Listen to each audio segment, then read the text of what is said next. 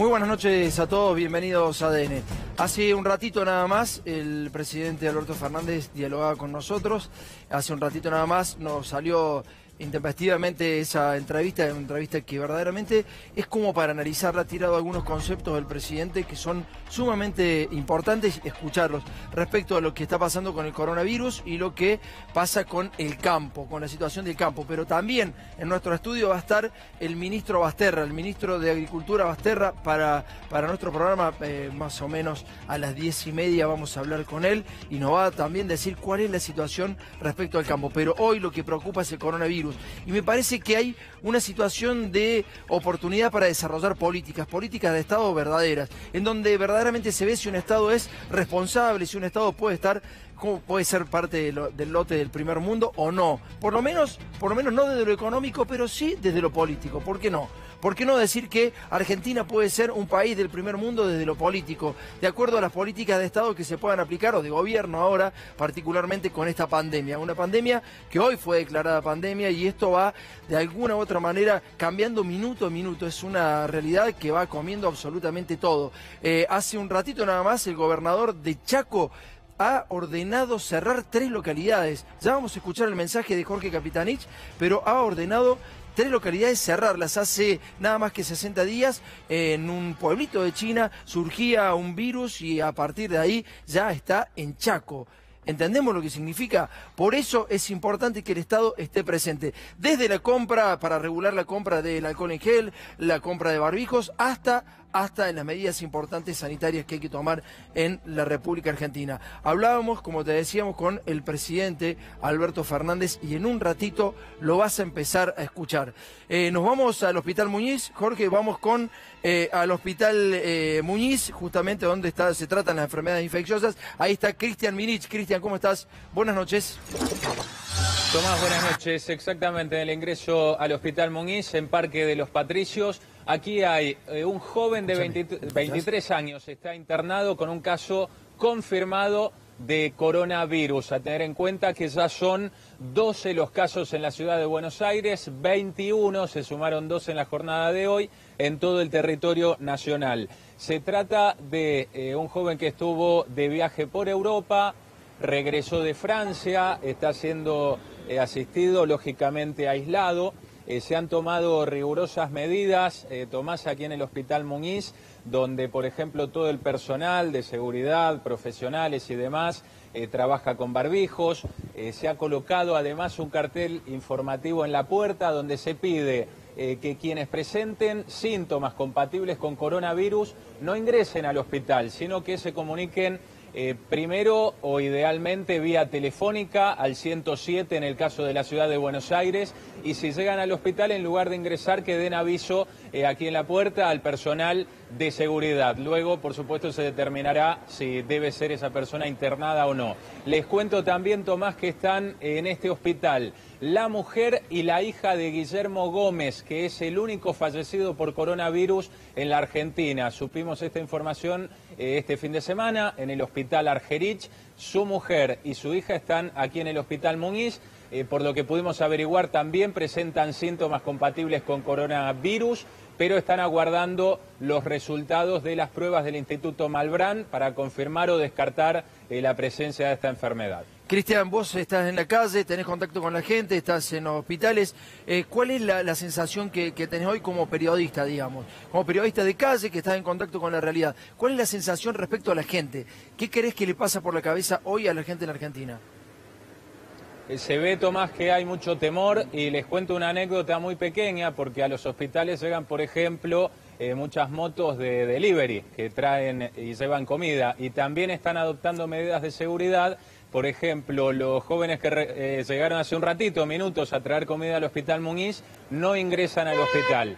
Les piden a las personas que hacen el pedido que salgan a la puerta y allí entregan la comida. Se nota eh, que hay mucha precaución y en algunos casos también eh, temor, inclusive hasta de pasar cerca de los hospitales, de ingresar a los hospitales y demás. Veo que hay cierta psicosis en la sociedad, por supuesto las recomendaciones no es tener miedo, sino eh, tomar las medidas necesarias y las precauciones necesarias, eh, tanto para estornudar, para higienizarse, utilizar alcohol en gel o bien lavarse las manos con mayor frecuencia.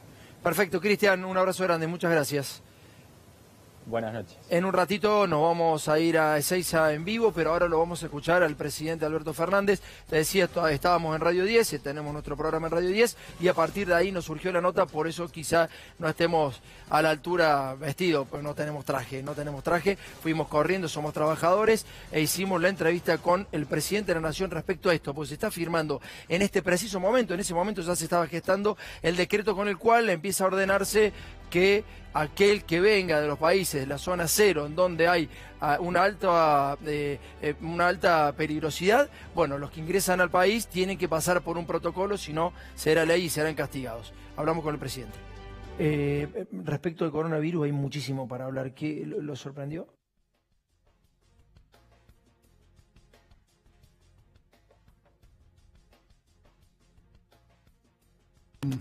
Es un virus que tiene la característica de poder desarrollarse en el frío. Y nosotros, como toda Latinoamérica, pensamos que mientras estuviéramos en verano la posibilidad de desarrollo era, mínima. Eh, donde había riesgo de frío, ahí sí actuamos. Por ejemplo, ya hace más de dos meses en la Antártida, nuestras bases están prevenidas porque en la Antártida la Antártida es una zona de libre circulación, hay muchas expediciones chinas y entonces lo advertimos y ellos están absolutamente prevenidos hace dos meses. Pero nunca pensamos que un virus que dicen que se muere a los 26 grados pudiera desarrollarse en ciudades como Buenos Aires con 30 grados o más de temperatura. Pero pasó. ¿Y entonces? Y, y lo que hicimos ver hasta aquí es cómo fue que pasó. Pasó porque todos los casos detectados hasta ahora tienen que ver con gente que ha viajado al exterior, básicamente Italia y España. ¿Y eso no se pudo cerrar antes la, el, el, aeropuerto internacional de Ezeiza? Es que, es que en realidad los controles se están haciendo y los casos que detectamos los detectamos casi todos. ¿Se están haciendo ahora los controles? No, no, y antes también, y muchos de esos casos los detectamos en el aeropuerto. Mm. Lo que pasa es que en una semana Italia explotó. No es que fue un, trayecto de meses. En una semana el aumento fue exponencial y en dos semanas Italia cerró sus fronteras. Entonces, eh, lo que nosotros, nosotros hacíamos el seguimiento de los que venían de Europa y de Italia puntualmente. Hubo casos que detectamos así. Eh, y lo que sí pudimos hacer fue, frente al caso detectado, separarlos, internarlos, darle el tratamiento, conocer quiénes estuvieron con esa gente, someter a cuarentena a todos los que tuvieron contacto con los con, estas personas que venían contagiadas. ¿En todos los casos se dio, presidente? Se dio en todos los casos, se dio en todos los casos que nosotros detectamos. En todos los casos que nosotros detectamos. Eh, ¿Hoy cuál es la situación? ¿Qué, piensa usted? No, no, la situación es que me parece que tenemos que extremar medidas, porque Ahora el virus explotó en Italia, está explotando en España. Merkel anuncia que ella calcula que el 60 o 70% de los alemanes van a padecer la enfermedad.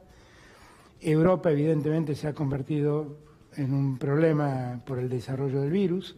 En Estados Unidos todo indica que se va a expandir a una velocidad parecida. En Estados Unidos se escondió mucho. Trump lo escondió al principio. Pareciera, no, no, lo sé eso, digo, pero pareciera que hoy eh, hay un problema en los Estados Unidos por el nivel de expansión que ha tenido el virus. Hay en un ratito una conferencia, va a hablar al mundo, digamos, Trump, digamos, de lo que va a hacer. Se esperan medidas extremas, pero, pero sí, al, principio, digamos, se lo sacaba encima el problema y lo minimizaba. Nosotros lo que hemos resuelto es, eh, ayer, ayer hubo una reunión con el gabinete y con el equipo de científicos, mm. expertos en infectología, y, la verdad que yo quise estar, básicamente para escuchar a, los médicos, quería escucharlos, eh, su opinión. Eh, me dieron todos una gran tranquilidad respecto de que la Argentina había actuado correctamente, había hecho lo correcto.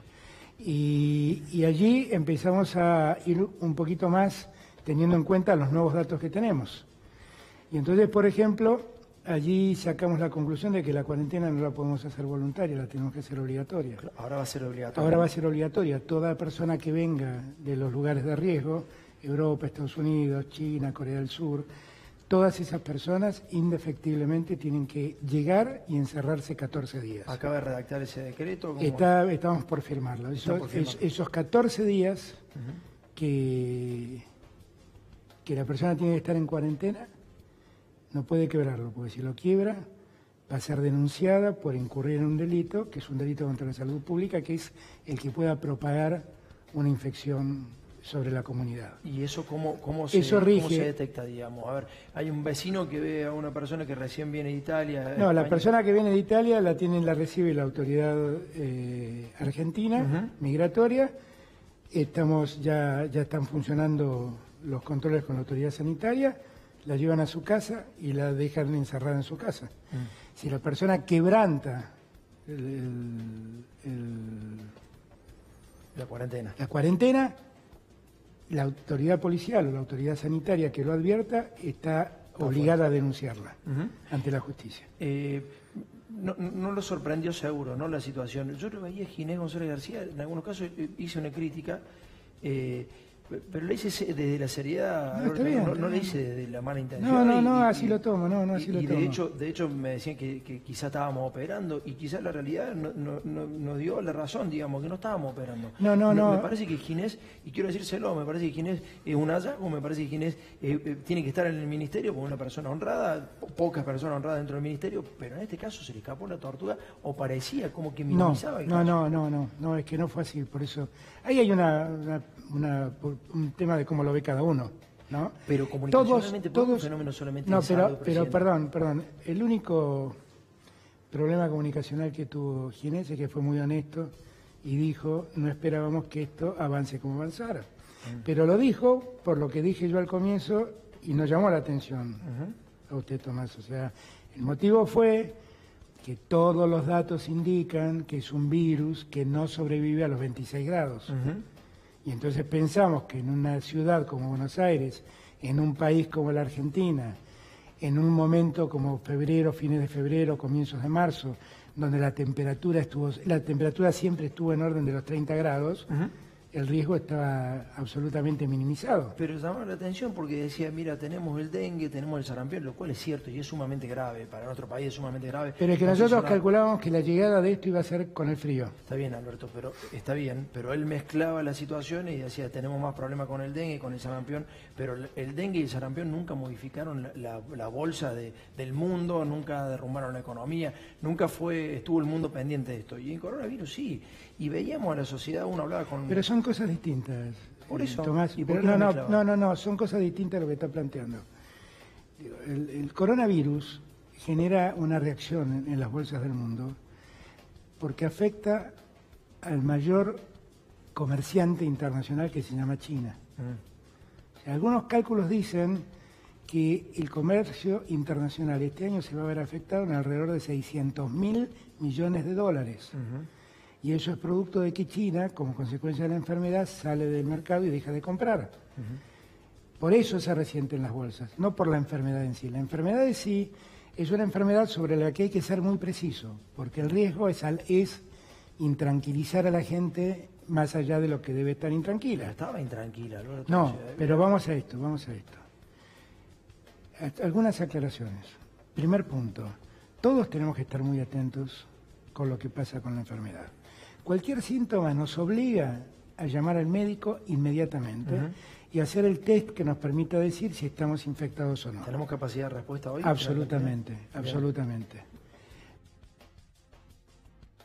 Bueno, en este preciso momento va a estar dejando su mensaje Donald Trump, está hablando justamente del coronavirus, al mismo tiempo que lo está haciendo el presidente Alberto Fernández. En este momento también se está firmando ese decreto que va a poner un poco de seriedad en los controles también eh, aeroportuarios, pero también le va a poner un coto a aquellos que vienen y... Eh, irresponsablemente eh, se meten en cualquier lugar donde, donde, donde se puede producir algún tipo de contagio. Me voy a Seiza, me voy a Seiza, Donald Trump acaba de cortar los viajes eh, en, avión, los, los, vuelos aerocomerciales, por 30 días, los que van de Europa a Estados Unidos y viceversa. Ha cortado todos los viajes de Europa hacia Estados Unidos. ¿Nos vamos a Seiza, Jorge? Nos vamos a Seiza en vivo. Ahí está Rafael García Palavecino. Rafa, ¿cómo estás? Buenas noches. ¿Cómo estás, Tomás? Buenas noches. Estamos en el aeropuerto de Seiza y durante el día también estuvimos tomando testimonios respecto de la gente que volvía de algunos viajes. Esta mañana dos casos fueron derivados al Hospital Intersonal de Seiza. Ahí es un hospital provincial y más tarde se emitió un comunicado por parte del Ministerio de Salud de la provincia en donde daban cuenta de un caso más, pero de Vicente López. Ascienden a 111 casos sospechados en la provincia de Buenos Aires y mañana seguramente tendremos mayores confirmaciones. ¿Qué pasa acá en el aeropuerto de Seiza? Bueno, se siguen eh, extremando las medidas de seguridad respecto también de los vuelos que arriban al país en donde cuando detectan un caso sospechoso, algún pasajero que dice tener síntomas o algún otro pasajero que apunta a otra persona del avión que tuviera alguno de los síntomas del coronavirus, bueno, tiene que arribar, tiene que primero avisar a la torre de control. Para arribar al puesto 18 y ahí los médicos hacen todo el procedimiento pertinente y bueno, también si se detecta algún caso, bueno, aislarlo y llevarlo a algún hospital. Lo mismo también dentro de lo que es este complejo del aeropuerto de Ezeiza, donde seguramente vas a ver imágenes de gente saliendo con barbijos. Bueno, lo importante es también lo que va a conocerse próximamente con respecto al decreto de necesidad y urgencia, esta obligatoriedad que se supone para las personas que eh, viajen o vengan de los países con mayor riesgo de contraer coronavirus que van a tener que estar aislados obligatoriamente. Así que seguramente vamos a estar acá en las próximas semanas, en los próximos días, porque van a haber muchos controles en el aeropuerto de Ceiza. Bien, Rafa, muchísimas gracias. Te mando un abrazo grande. Eh, ahí pasaba Rafael eh, Palavecino, García Palavecino, desde Ezeiza en vivo y en directo y nos volvemos a hablar con el presidente Alberto Fernández. En este momento, en este momento el presidente sigue en Casa Rosada. Hasta ese momento justamente que estábamos dialogando con él, decía que estaba el decreto para firmarse. Ese decreto que va a poner coto a aquellos que vengan de afuera hacia nuestro país, sobre todo de las zonas rojas hacia nuestro país. Hablamos la segunda parte con el presidente.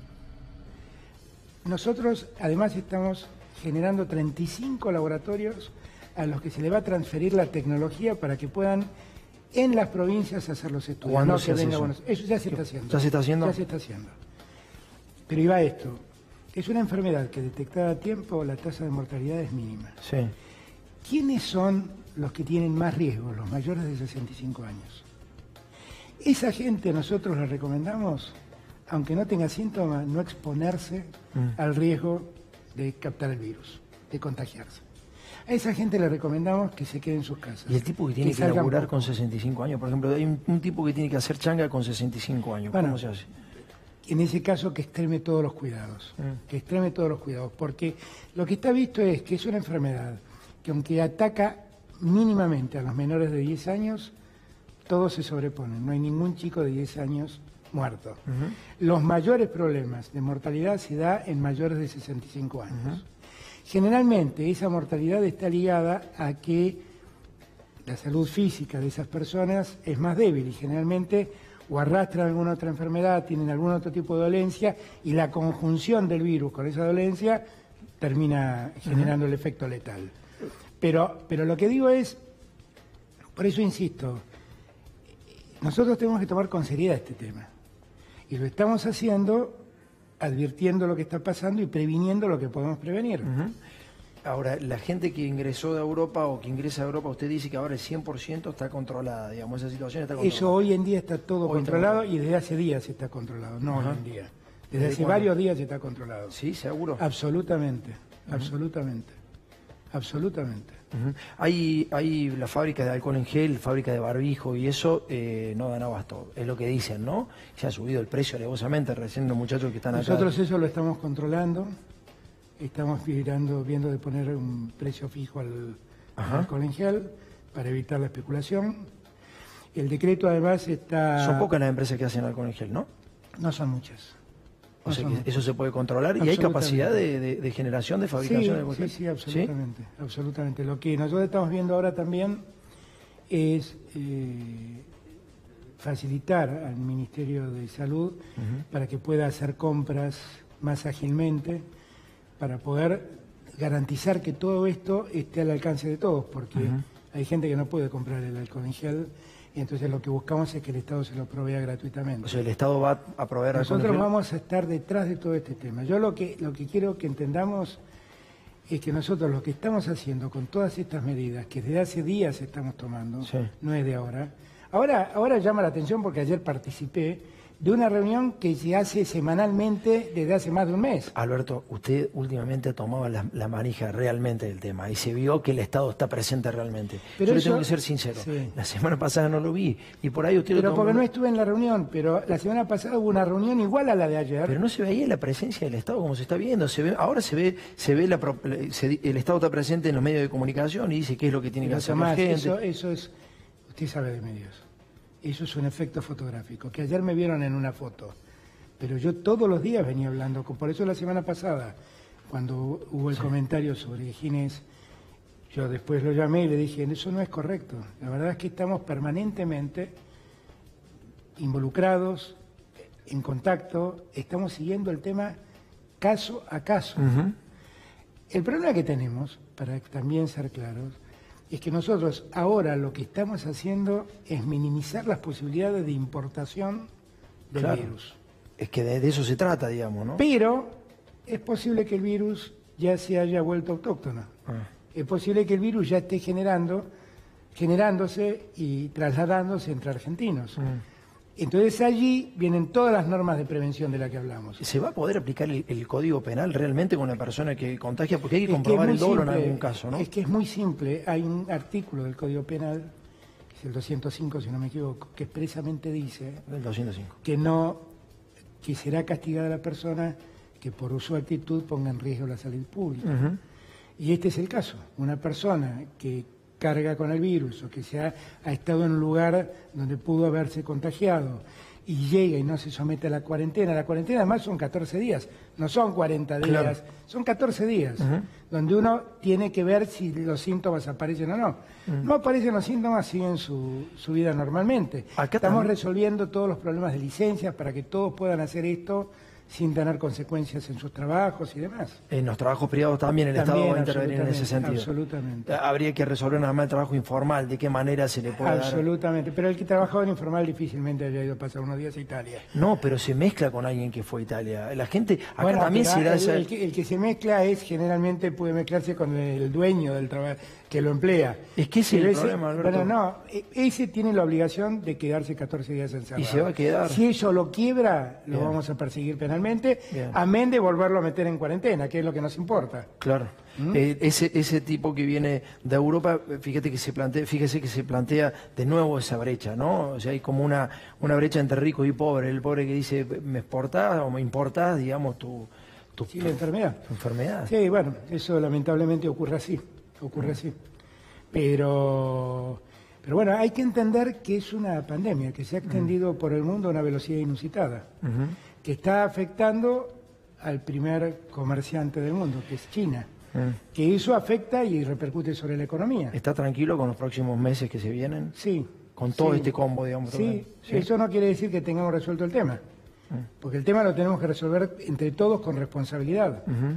Eso quiere decir, yo puedo hacer que la autoridad sanitaria haga cumplir esto, pero si algún pícaro, o un tonto más que un pícaro, decide romper la cuarentena y exponer a la, a la gente al contagio, bueno, ahí tendremos que caer con el peso de la ley.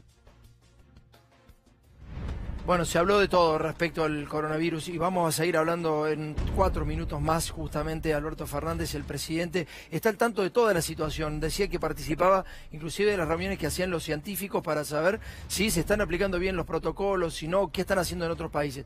Eh, la verdad es que se ha tomado cartas en el asunto. Hoy veía algunos comentarios en algunos medios opositores, claramente opositores, y tratando de instalar este tema. Y me parece que el tema está recontrainstalado y está bueno que el Estado sea duro en esta, en esta situación Me parece que mientras las medidas vayan a favor de la sociedad, hasta en esos medios opositores aparecen los lectores y dicen que le da seriedad al país. Hay que ver qué pasa con los partidos de fútbol, hay que ver qué pasa con eh, los recitales que se vienen. Me parece que muchos de ellos, por lo que nos decía en off el presidente, van a ser a puertas cerradas. Obviamente el recital de rock será suspendido y los partidos de fútbol serán a puertas cerradas, por lo que nos ha anticipado el propio presidente. Pero veamos la tercera parte de la entrevista. De, los países que hoy están en la zona roja, digamos, ¿no? Bueno, lo que pasa es que Argentina con Italia y con España tiene un vínculo muy grande, porque nosotros descendemos de españoles italianos. Entonces los viajes son permanentes y el comercio entre los dos de Argentina con los dos países es muy grande. En España y en Italia, que España básicamente también dejó como pasar la, situación, era como que no pasaba nada. Hace poco se jugó el clásico Barcelona y Real Madrid, a cancha llena, estaban todos como tranquilos y ahora entró eh, lamentablemente en psicosis la sociedad, digamos, porque también no fue bien administrado el mensaje y evidentemente hoy la, gente está en psicosis. Hoy veíamos los supermercados en España, todos vacíos. ¿Podemos llegar a esa situación? No, yo creo que no si nos movemos seriamente. Nosotros no estamos en esa situación. ¿Ok? Ahora, fíjense ustedes que uno, pensemos en Alemania. La verdad, hay una sociedad más organizada y estructurada que la alemana, difícil, ¿eh? Mm. Difícil. La condición germánica, el orden, el respeto, el cuidado, son estrictísimos en todo eso. Y hoy ayer Merkel dijo que ella calcula que el 60 o 70% de los alemanes van a estar infectados. O sea que por mucha prevención y mucho cuidado, también el riesgo existe. Lo que hay que entender es que nosotros podemos minimizar el riesgo. Para minimizar el, minimizar el riesgo, lo primero que tenemos que entender, los mayores de 65 años, por favor, presérvense. Si se pueden quedar en sus casas, quédense. El que viajó, enciérrese en su casa durante 14 días. Si tiene algún síntoma, llame enseguida al médico. Todo esto lo podemos hacer y minimizar el riesgo. ¿Se imaginaba hablando de este tema usted? No, no, pero bueno, es que tampoco uno decide estas cosas. Ah. Estas cosas ocurren y hay que hacerle frente. Estaba complicada ya la situación de Argentina, ¿no? Y se le suma esto, eh, ¿qué está viendo, digamos, para el próximo mes? Esto, esto, esto, esto, la verdad, tiene muchas lecturas. No tiene una, tiene muchas.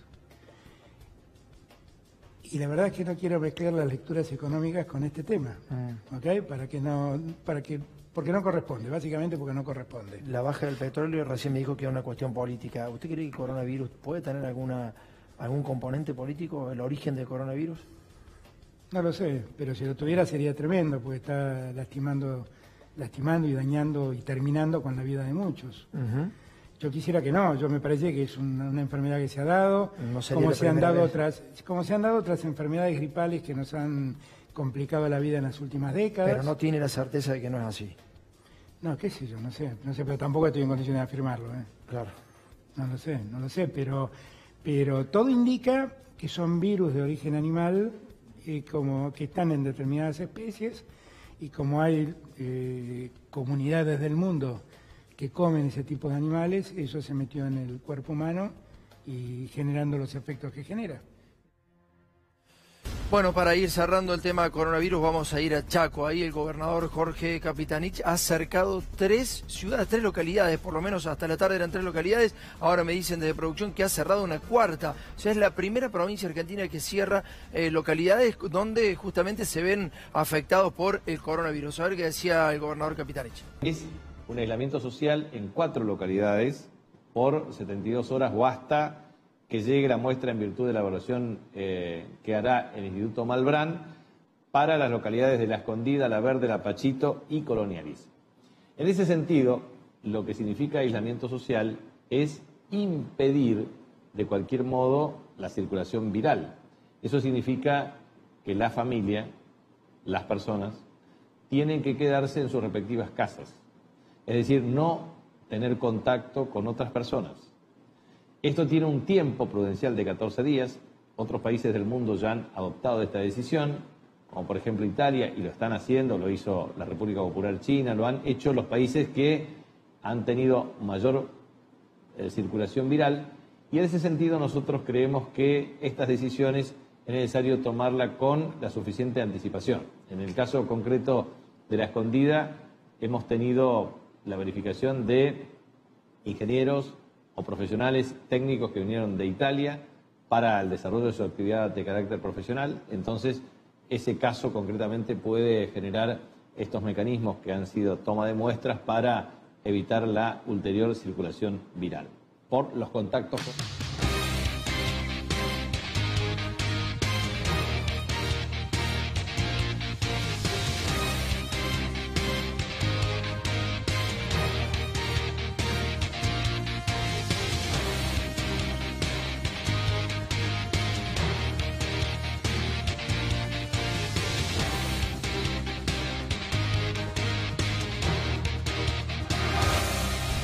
La situación se descontrolaba en China, después fue medianamente organizado por algunos estados chinos, pero ahora se ha descontrolado en Italia, se ha descontrolado en España y se ha descontrolado en los Estados Unidos, donde el presidente Donald Trump decía que no pasaba absolutamente nada. Esto decía hace instantes nada más el presidente de los Estados Unidos viajeros de Europa. Después de consultar con los profesionales de salud, he decidido tomar eh, medidas necesarias, proteger la salud y el bienestar de los estadounidenses.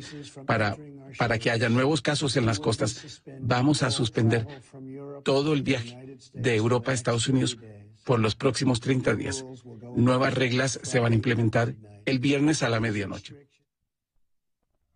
Bueno, señores, dejamos un ratito el coronavirus y nos metemos en el campo, porque la pulseada por el campo, la verdad que fue, ya está el resultado, el resultado está a la vista, fue un fracaso el paro, esto es lo que vamos a analizar. Hablamos también con el presidente Alberto Fernández de esta, de esta situación y tiene las definiciones más picantes. Ahora se va a ver un Alberto Fernández mucho más político y tirando definiciones tajantes. Hablamos del fracaso del campo, dale. Le salió bien en el campo no, no, ha, tenido ningún tipo de trascendencia, le salió bien, realmente, además la gente... No, no me salió bien porque, no me salió bien porque quisiera que me, hayan, que me hubieran entendido. Mm. Quisiera que me hubieran entendido como entendieron la mayor parte del campo, que finalmente no, no hizo el, el paro ¿no? Mm. y la comercialización siguió funcionando. Y quisiera que me hayan entendido que estamos en un tiempo donde debemos entendernos, no pelearnos. Y, quisiera que me hayan entendido, no me salió bien porque desde ese lugar lo siento casi como un fracaso. y claro, porque me hubiera gustado que el diálogo exista. Existió el diálogo. esta decisión no fue tomada arbitrariamente. un diálogo era una negociación y venían para que usted no hiciera lo que hizo, digamos. Pero es que nosotros hicimos, yo me acuerdo que en campaña dije, yo de la 125 aprendí, ¿eh? dos veces no me pasa. Mm. Nosotros teníamos que aumentar el, impuesto, básicamente porque la ley nos imponía bajar retenciones a muchas actividades. Entonces es la primera vez que estos tres puntos de más que pagan solo los grandes productores, que son alrededor del 27% de los productores que producen casi el 80% de la soja, ellos lo que pagan eso la verdad nos permite a nosotros redistribuir dinero entre todos los demás y fundamentalmente entre los pequeños chacareros, que en algunos casos pagan lo mismo o pagan menos. Entonces, yo la verdad es que como aprendí, no repetí aquella experiencia. Lo citamos, le explicamos, le pedimos su opinión, tomamos algunas de sus opiniones y yo estaba convencido que habíamos estado de acuerdo. Y después me parece que la dirigencia no supo controlar eso que se llaman los autoconvocados. Ah. Que en verdad los autoconvocados sería más honesto que dijeran somos militantes de la oposición, que nos vestimos de chacarero para protestar. O sea que en la charla estuvieron bien, habían aceptado la charla. Y después fueron. yo por eso, cuando fui a una reunión con empresarios que organizó la CICIP, eh, le agradecía a la gente del campo que hayamos podido, y después apareció el paro. Claro. ¿No? Este, pero bueno, son experiencias. Para mí esto ya se terminó, el paro termina. ¿No siguen? Creo que, ¿No siguen? No, no sé, que termine cuando termine, digo, pero mm. lo que está pasando es que en los hechos la comercialización está ocurriendo. Vamos a seguir hablando del campo y ahora se vienen las definiciones tajantes de un presidente que verdaderamente quiere ejercer el poder. Hasta ahí el diálogo. El diálogo es una negociación clara por dinero, es económica claramente. El Estado está necesitando justamente un esfuerzo de todos los sectores. Lo están haciendo los jubilados, lo están haciendo los trabajadores hace mucho tiempo y lo que le está pidiendo al sector agropecuario, al mayor, al concentrado, es que haga un esfuerzo también. En un ratito vas a ver también a Marcos Peña. En un ratito Miguel Ponce León lo esperó a Marcos Peña cinco horas frente de su casa hasta que pudo tener el testimonio de una persona que estaba en cualquiera. Los exfuncionarios están en cualquiera, mientras el país la está pasando muy mal, dirigen cuáles son las protestas que hay que hacer. Y mientras tanto se hacen los giles. Vamos a ver de qué vive Marcos Peña. En un ratito lo vas a ver paseando por las calles de Buenos Aires. Ahora cerramos con el presidente del campo. Dale. Frente a semejante crisis, con el coronavirus encima, con la pobreza que tenemos, resulta ser que nadie está dispuesto a ceder nada en la Argentina. Bueno, yo quisiera que no sea así. Yo quisiera que todos entendamos que para salir de esta situación es imperioso que todos cedamos algo. Que todos cedamos algo. Y que los primeros que deben ceder son los que están en mejor situación. Mm. Porque pedirle que cedan a los jubilados, a los que están en la pobreza, a los que ganan. Se dieron bastante, digamos, ¿no? Por eso, a, ellos no. se les puede pedir más nada. No, ¿eh? no se les puede pedir más nada. A ellos hay que empezar a darles. Mm. No a seguir pidiéndoles ¿Y si no ceden? ¿Y si no ceden todos estos sectores? ¿A dónde vamos? Bueno, si no ceden todos estos sectores, a mí me han dado el poder. Y el poder está mm. para ejercerse. Yo primero intento el diálogo, primero intento ponerme de acuerdo. Si las cosas no ocurren, yo sé a quiénes represento, sé qué intereses represento y entonces ejerceré el poder. Muchas que me han dado. Muchísimas gracias. No, gracias a ustedes. Bueno, saludo a mis compañeros. Primero ya hablamos con el ministro de Agricultura de la Nación. ¿Cómo anda, Miguel? Buenas noches. Buenas noches, Tomás. ¿Todo bien? Muy bien, excelente. Bueno, en un ratito me mostrás qué dijo Marcos Peña. ¿Qué te dijo Marcos Peña, eh? ¿Qué dijo y quiero que cuente de lo que va a hacer? Ah, perfecto. ¿Tiene planes para el futuro? Sí. Pablo, ¿cómo estamos? ¿Cómo estás, Tomás? Buenas noches. Buenas noches. Lo saludamos ahora sí al ministro de Agricultura. Muchas gracias por venir, Luis. No, por favor, gracias por la invitación. Bueno, eh, estábamos hablando de los sectores más concentrados por ahí. Una, una, frase muy común es eh, el hecho este de que supuestamente somos un país productor eh, de, alimentos para 400 millones de personas, pero ese alimento no es del país o no es de la Argentina. Se lo llevan casi todas, ¿no? Bueno, es lo que ocurre con una actividad comercial como es la producción de, la producción agropecuaria con excepción de lo que es la agricultura familiar, donde eh, tiene un componente que además de generar productos para poder generarse ingresos, eh, parte de lo que consume lo produce el mismo productor. Por lo tanto, la lógica es que si hay eh, una oportunidad de mercado, se genera la producción y si esa producción es rentable, subsiste en el tiempo. Y eso es lo que ocurre en la Argentina, que gran parte de su sistema económico depende de la producción en el campo. Eh, ya sea por la producción directa como por lo que puede ser el proceso de transformación, de agregación de valor, de consumo interno y consecuentemente nadie puede dudar de la importancia que tiene la producción agropecuaria en la claro. Eh, usted participó en la misma reunión que el presidente con la mesa de enlace. Eh, al presidente se vio sorprendido cuando tomaron la medida del paro. ¿Usted también se vio sorprendido? Sí, yo también me vi sorprendido, porque la verdad que nosotros hemos tenido encuentros informales, encuentros formales nos hemos escuchado, tenemos un, buen diálogo interpersonal en, el sentido de escucharnos y muchas de las decisiones que se tomaron tomaron en cuenta la opinión de los representantes de la mesa de enlace, pero también de las más de 130 organizaciones que nos enviaron pedidos para aportar a que se ajusten el modelo de retenciones a las posibilidades que tienen las distintas economías regionales. Por lo tanto, eh, cuando nosotros, después de escuchar eh, no solo a las cuatro entidades, sino también, repito, a los productores de lana, a los productores de arroz, a los productores de cítricos, en fin, 134 notas tenemos donde nos pedían determinados modelos de imposición de retenciones. Y ahí hicimos eh, algo que ni siquiera creo que lo esperaban en un momento.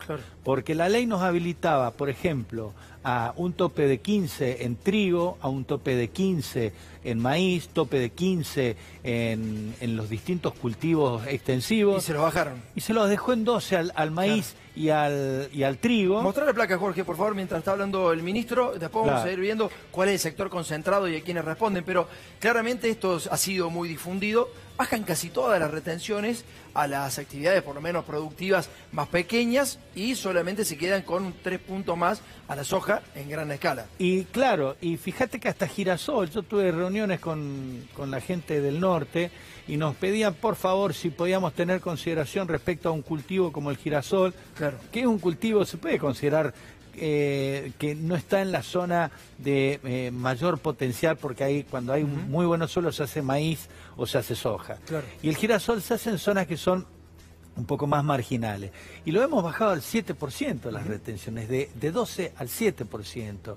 Eh, al arroz lo hemos bajado del 9 al 5%, al algodón del 9 al 5%. Han habido una cantidad de medidas de ajuste del el instrumento de derechos de exportación para que las economías regionales respondan a este concepto de equidad territorial, Claro. que las producciones que se llevan adelante en los territorios puedan progresar y puedan hacer un aporte, pero en la medida de lo que pueden. Tengo preguntas de mis compañeros. Vamos, Miguel. Eh, más allá de las medidas oficiales, ¿se encontró con productores de trigo que incluso reclaman o protestan por las retenciones? Sí, circulan videos y la verdad que escuchaba hace un ratito un video en el que un productor eh, reclamaba eh, por un trigo que no se exporta, que es de consumo local, y, y haciendo una aseveración de que por culpa de las retenciones este, el, Estado, los políticos y bla, bla, bla. La verdad es que hay, hay en determinados segmentos un- una disposición a presuponer. Y nosotros lo que estamos es ofreciendo la información para debatir y dialogar sobre información concreta ante un escenario realmente muy difícil que es el que nos dejó Cambiemos, con una deuda de 190 mil millones de dólares, con vencimiento de más de 65 mil millones de dólares. Eso lo este- saben los productores, ministro. pero saben pero ¿eh? pero es bueno pero es bueno dialogar para y sobre todo mostrar porque es cierto que sobre ese caldo de cultivo Sí. ha trabajado determinado segmento de la política, claramente lo ha dicho el presidente, sobre esa actitud de, eh, de- de estímulo a una ánima aversión hacia un proyecto político, han trabajado. Y la verdad que en la práctica eso no se dio, porque ese productor que protesta es un productor que no lo van a afectar las medidas que acabamos de tomar últimamente. Ministro, está claro de la relación de los hechos previo al paro, que la mesa de enlace le había dicho de alguna forma casi formal de que no iban a ir a un conflicto. Sin embargo, después fueron un paro, el paro no tuvo el apoyo ni el rebote que se suponía que podía llegar a tener. ¿Para usted qué pasó en esa descoordinación? Y yo creo que se le fue un poco de las manos determinada dirigencia que, tiene todo el derecho del mundo a pensar de que no esté, que no esté de acuerdo con las medidas que tomamos nosotros. Pero llegar a una medida extrema como es un paro eh, de cuatro días, intentar hacerla y que después no se le concrete, es porque la gente ha entendido. Ministro, es muy conciliador usted. Digo, no estamos hablando. A ver, si, si lo escuchamos al ministro de Agricultura, es demasiado conciliador. como Menciona que- mucho la palabra diálogo. Claro, el, eh, el parece presidente que- acaba de decir Es que no hay- a mí me han dado el poder. Y si tengo No, que no, no, pero- no, no, perdón. ¿Ante qué pregunta? Ante la pregunta, si no se cumplen, si se salen, yo ejerzo el poder. Pero hasta ahora él ha convocado permanente, hace el reclamo correspondiente, como lo hacemos, Sí. pero también de esta situación tenemos que salir. No, pero es muy positivo escucharlo así, porque la verdad es que si uno, uno que le ve de afuera dice, bueno, pero estos tipos meten el pecho. Claro, no tenés un Guillermo Moreno eh, eh, hablando, lo tenés un ministro que casi que parece, no un productor agropecuario, lo está haciendo muy conciliador, está Es tratando de ver. lo, lo que pasa es que acá tenemos que llegar a las 200.000 toneladas y lo tenemos que hacer con todos los productores y sin que determinado modelo excluya a otro. Y tenemos que también entender que estamos viviendo una realidad muy difícil Claro. que requiere el esfuerzo de los que más pueden. En este momento la decisión que tomó el gobierno nacional, en esa decisión aportan aquellos productores que han facturado más de mil toneladas de soja. ¿Podemos Eso- ver eso? ¿Podemos ver una placa y usted me lo va Sí, explicando, no, ministro? Mira, mira, hemos preparado unas placas para ver cuáles son las principales es- empresas exportadoras de los alimentos nuestros. Por favor, Jorge, si lo podemos ver, las principales, las cinco agarramos. Cargill de Estados Unidos, ADM Agro de Estados Unidos, Bunge de Estados Unidos, COFCO que es China, y quinta aparece Aceitera General de esa. O sea, mirá quiénes son los dueños de tu alimento. Dame la próxima placa, por favor, Jorge, porque esto, ahora hacemos el proceso inverso. Nos vamos de ahí para ver cuáles son las empresas de semillas transgénicas, porque para sacar ese producto tenés que comprar semillas. No se hacen en la Argentina, lo hace Monsanto, lo hace Pioneer, Estados Unidos y Alemania. Vamos a la tercera. Para tener semillas, para tener la producción, tenés que tener un agrotóxico. El principal agrotóxico es Monsanto. Mira, todo el negocio es de Estados Unidos y de Alemania. Todo el negocio del alimento en la Argentina es de Estados Unidos y de Alemania. Inclusive el veneno con el que, eh, el que tiran en, las escuelas rurales, en los campos, etcétera, de Estados Unidos y Alemania. Y el final, Jorge, son la maquinaria agrícola. ¿Cómo levantás esa producción? John Deere y Case, las dos principales, Estados Unidos. O sea, tenemos alimentos, tenemos la tierra, tenemos todo, pero el negocio es de Estados Unidos. ¿Quién crees que está jodiendo con el tres puntos de las retenciones? El productor agropecuario chiquito, como te decía recién el ministro Basterra, el tipo que, eh, que no sé, que, que siembra eh, girasol, manzanas, duraznos, ciruelas, o son estos tipos que acabas de ver. ¿Es así, ministro, o no? ¿O estamos equivocados? Sí, en parte es así. En realidad, eh, en caso de semillas, eh, hasta te diría que es más complejo todavía, porque en general la semilla, la planta se diseña en Argentina se le intrusa un gen por el cual después se cobra la regalía, con lo cual hay todo un trabajo que lleva entre 7, 8 años de semilleros argentinos sobre los cuales se pone el, gen y eso es lo que termina cobrando eh, al final de todo el procedimiento, amparado no en la ley de semillas, sino amparado en la ley eh, de patentes que son cuestiones que nosotros tenemos que revisar, la forma en que se aplica, porque esto aparte hay acuerdos, bueno, viste claramente, está China en el negocio, está Alemania y está Estados Unidos. Digo, es el mundo funciona con esta lógica y nosotros tenemos que hacer que esa lógica no impacte sobre la soberanía alimentaria argentina y sobre las capacidades de producción que tiene Argentina. Ministro, le tengo que agradecer. Muchísimas gracias por haber venido. Le pido mil disculpas a los compañeros, pero tenemos que analizar el tema de Marcos Peña. Eh, la verdad que nosotros hicimos una recorrida por el país, hicimos ADN Periodismo Federal por muchas partes del, del, país y vimos cómo había afectado el campo. Una de las partes era el glifosato, cómo afectó a distintas poblaciones. Pero también, y esto hay que decirlo, cómo fueron contra las leyes de bosques, cómo directamente pelaron absolutamente todo y después se producen inundaciones que se producen. Y este también es el resultado de esas empresas norteamericanas y alemanas que después no la sufren. Los que la sufren son los argentinos. Gracias, ministro. Por en serio por venir. Muchísimas gracias. Dale, vamos.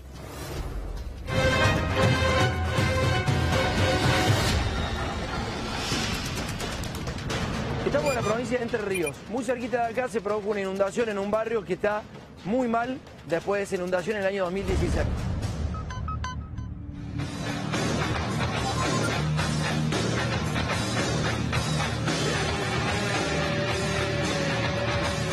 Situación de inundación la venimos sufriendo a partir del 2012. Las máximas pérdidas las tuvimos el año pasado en la cosecha 2015-2016.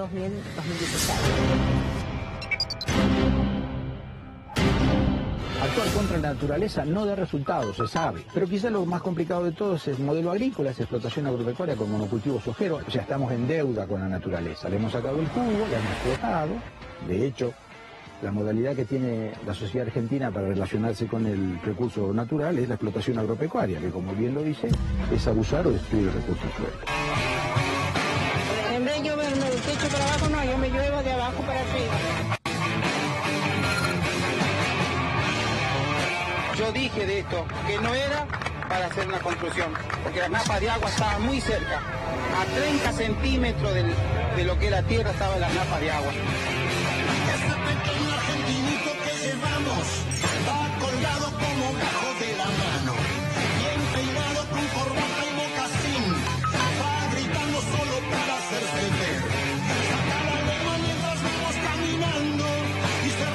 Rapidez con que avanza esto, no hay evidencia que haya ocurrido en otra parte del mundo, que nunca se ha visto en la historia ni en otros lugares que se forme un río de semejantes dimensiones en tan poco tiempo. Esta cuenca históricamente estaba cubierta en su mayor parte por bosques de quebracho, de algarrobo. Cuando se reemplaza el bosque seco por agricultura, ocurre que la agricultura, la soja, el maíz tienen menos evapotranspiración, entonces dejan escapar agua por debajo.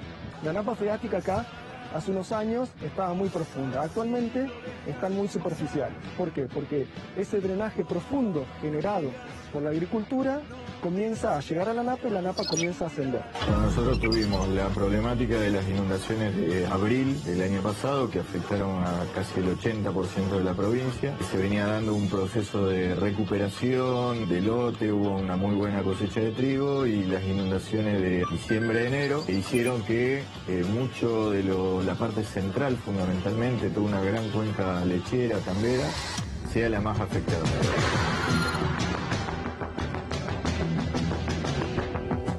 Eso, en el día a día, en la vida del pueblo y de las ciudades y de las empresas, se ve y se siente.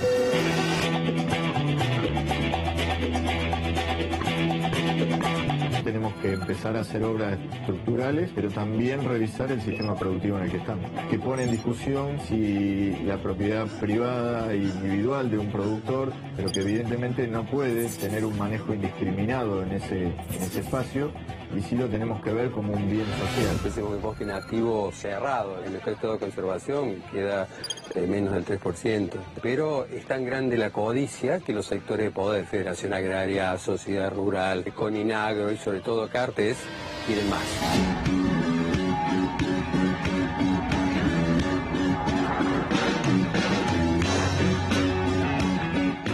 En la laguna de la Picasa, sobre la ruta nacional número 7, entre Rufino y Diego de Alvear. Separada justamente porque la ruta está cerrada en este momento y justamente esta inundación se ha generado por toda la problemática que hemos venido hablando del exceso hídrico y la falta de consumo de los cultivos del agua que está en el suelo. O sea, a medida que se va llenando el perfil del suelo y hay excesos hídricos, el agua escurre y produce cada vez lagunas más grandes e inundaciones más grandes.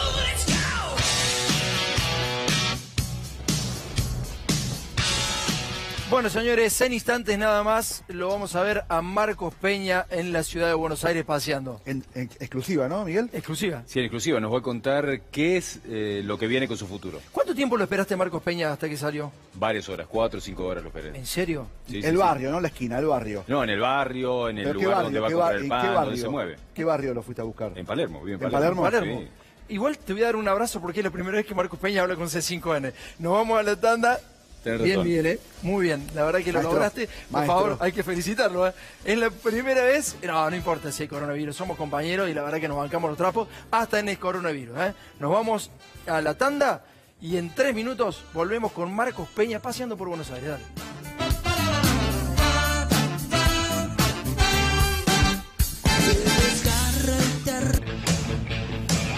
Bueno, lo prometido es deuda, Miguel. Es todo suyo. Claro, fuimos a buscar al ex jefe de gabinete de Marcos Peña, que en la última entrevista que dio el año pasado, lo que dijo a un periodista amigo es que lo mejor de Cambiemos fueron sus intenciones de transformar la realidad social y económica. Por eso, porque solo le quedan intenciones y tuvo muchos fracasos económicos, fuimos a preguntarle qué es del futuro de él. Y lo ¿De qué más increíble de todo ¿Se es que eh, nos confirma que vuelve a la política. Ah, claro. Por ejemplo. Mira Ah. ¿se había ido? ¿Se había ido? Sí, se fue bastante tiempo, se Y fue de entonces Fue en vacaciones. el 2016 más o menos. Empezó a hacer negocio. No, pero digo, ¿de qué vivió todo este tiempo? Porque estos son, Son los que tres dicen que- meses, Tomás. Bueno, Algún ahorro habrá tenido como jefe de gabinete. Bueno, además le pedimos que nos haga un balance. dale, perfecto, vamos.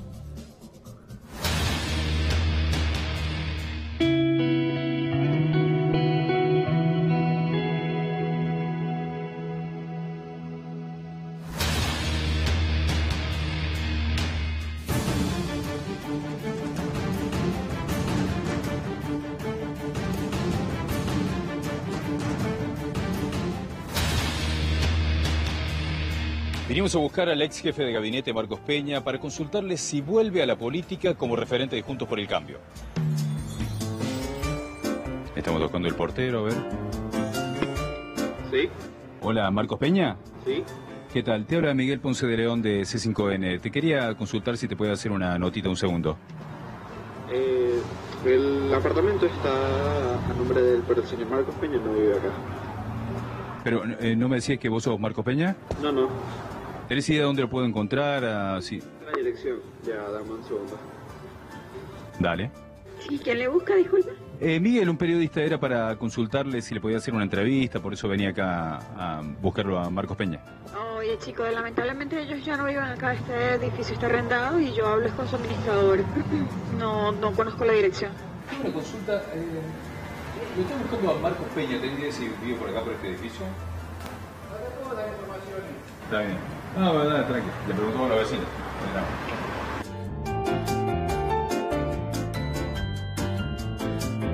Marcos, ¿te puedo hacer una consultita un minuto? Te- breve. Vo- eh, ¿Volviste ahora ya a Buenos Aires? ¿Volvés a la actividad política? Eh, siempre, soy militante, así que siempre estoy en eso. ¿Y y cómo va a seguir la actividad de Juntos por el Cambio? Bueno, ahora llegué hace poquito, así que todavía no, no empecé las reuniones. Va a empezar las reuniones. Te pregunto, ¿qué, qué balance haces ahora ya después de, de todo lo que pasó en marzo de 2020, de lo que dejó el gobierno de, el gobierno de Cambiemos? Gustavo Kisilov. Lo primero, claramente tenemos una visión absolutamente opuesta de la economía y de hecho vamos a trabajar durante mucho tiempo para que usted nunca más la maneje, porque tan mal la manejó que los argentinos hoy expresan un rechazo a esa política y por eso no están gobernando el país. Y vamos a hacer una economía que crezca, que genere empleo, que elimine la desigualdad, que vaya ese camino de pobreza cero. Y lo estamos haciendo. ¿Qué balance haces ahora ya después de, de todo lo que pasó en marzo de 2020, de lo que dejó el gobierno de, el gobierno de Cambiemos? Cuando haya que hacer un balance lo haremos. Ahora no quieres hacer un balance. No, no estoy con la familia. Muchas gracias. Gracias.